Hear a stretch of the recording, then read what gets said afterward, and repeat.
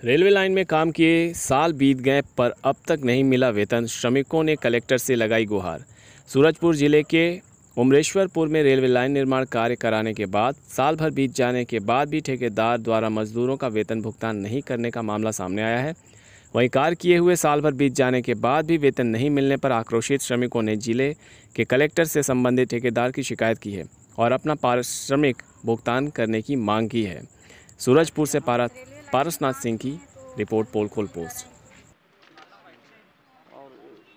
मार्च से किए हैं तीन महीना किए हैं और जने चार महीना पाँच महीना हो गया साल भर हो गया तो फिर भी परमिट नहीं कर रही क्या बोले कलेक्टर सर देने दो कल तो बोले कल कल हो जाएगा बोले? कल पेमेंट हो जाएगा। हाँ आएगा पैसा आएगा हाँ कल बोले हैं कि आएगा पैसा नहीं आएँगे तो फिर आना। उमेशपुर से। उमेश्वरपुर से। क्या करने आए हैं यहाँ?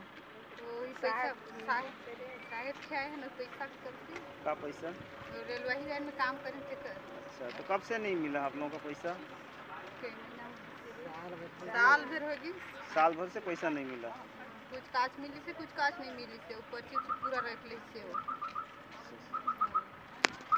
और हाँ इस तरह की इंटरेस्टिंग न्यूज़ देखने के लिए हमारे चैनल को सब्सक्राइब करें और हाँ साथ ही बताना चाहेंगे 2019 की राजनीति से जुड़ी हुई तत्काल की न्यूज़ देखने के लिए चैनल को ज़रूर सब्सक्राइब करें, साथ ही घंटी का बटन ज़रूर दबाएँ, जिससे नई अपडेट आपको समय पे मिलता रहे।